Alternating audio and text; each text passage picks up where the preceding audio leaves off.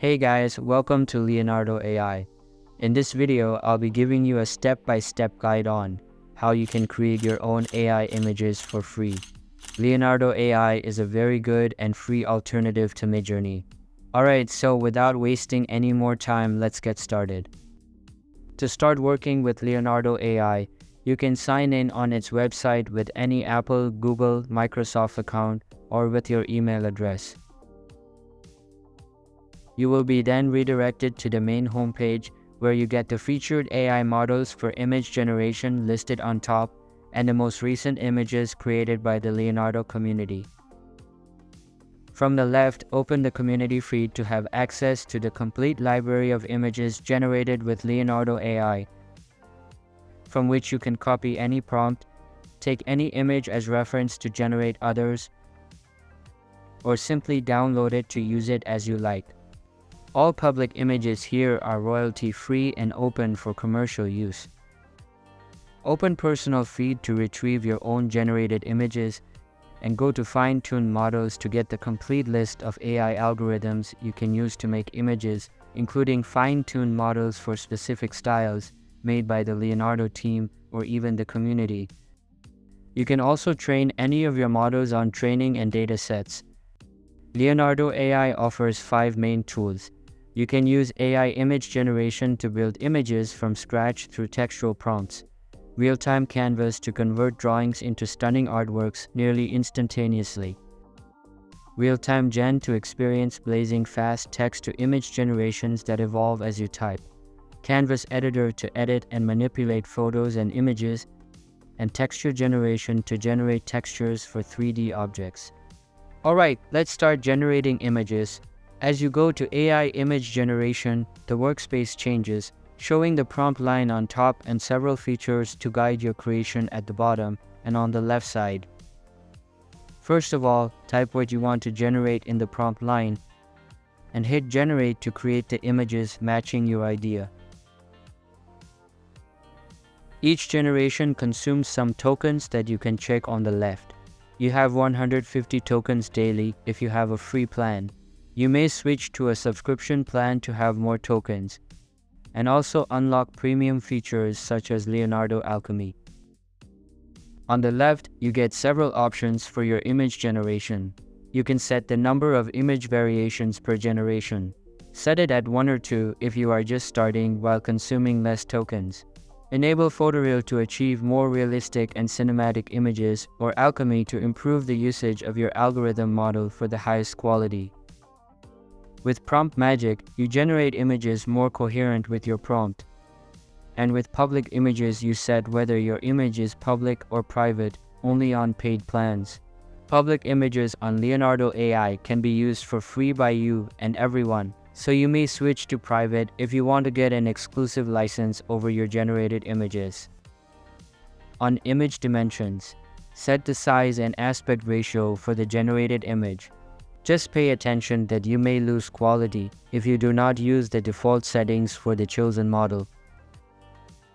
Increase guidance scale to follow the prompt content more strictly, limiting the creativity of the AI. In case you want to generate patterns or a group of a specific subject, make sure to enable tiling. Now let's see how to write a correct prompt.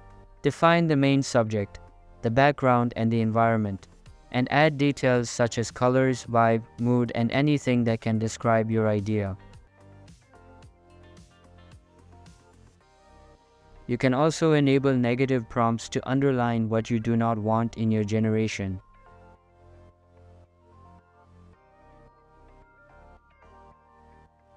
You can also click on the dice and go to improve prompt to get some hints for your prompt or simply go to prompt generation to get several prompts covering more complex ideas to copy and use, or to start from.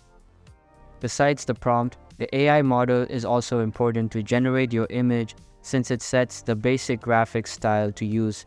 For example, you may choose absolute reality to generate real-like images, or switch to Dream Shaper to generate dreamy images with glowing colors. Stable Diffusion is one of the basic AI models to use. in 3D animation style is the best to generate images recalling a 3D animation film.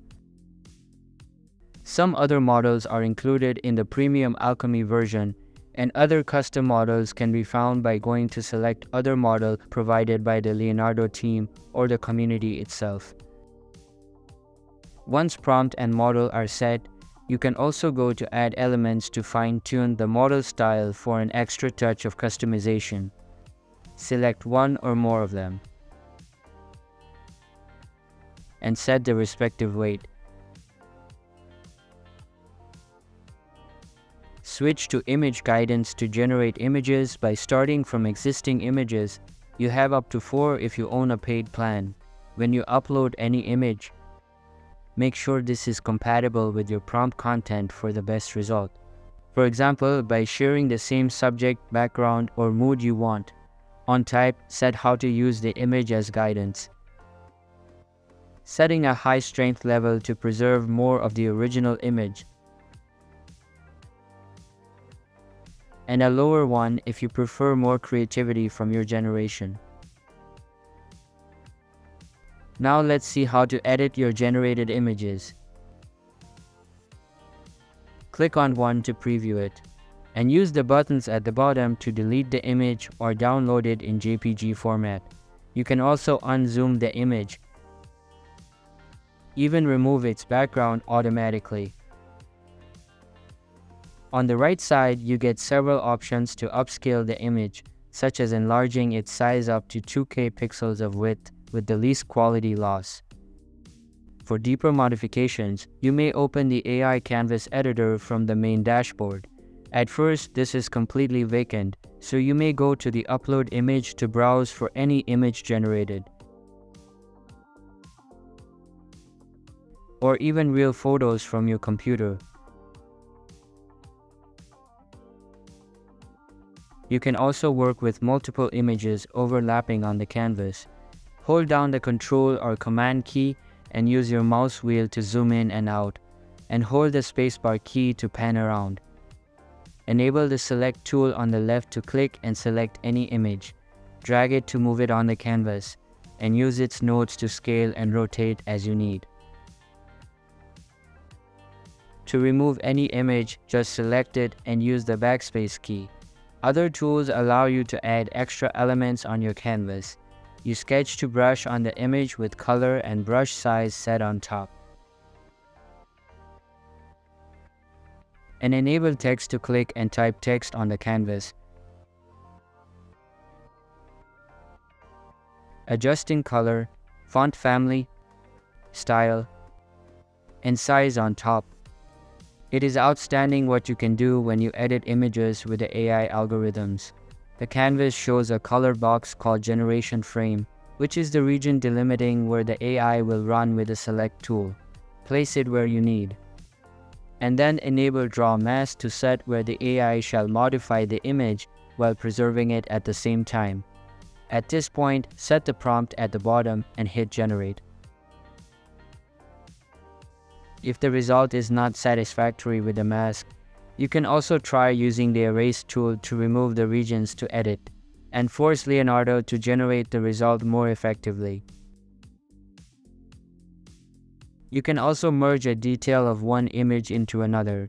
Move the first image outside the second one. And enable the Erase tool to extract what you want from it. Leaving some safe contour around it. At this point, move it where you need it on the main image, move the frame on it, and to find the mask where the two images shall merge, describing the wanted result from the prompt. The generated modifications are indeed new images with the same size of the frame that can be selected, moved, and deleted. So pay attention when you move the main image after adding corrections. You can also select move and delete masks in the same way. Make sure to use Ctrl or Command and Z to undo any time. The result of the corrections depend on the AI options on the right such as the model to use, the number of images to shuffle at each generation and the size. and aspect ratio of the generation frame. Once you are done, you can save the entire content of your canvas by going to download artwork on the left, obtaining a PNG format which also saves any transparent or blank area. This is all you can do when using the AI canvas and in paint out paint mode. You can switch to image to image when you need to perform heavier corrections by always matching the original image.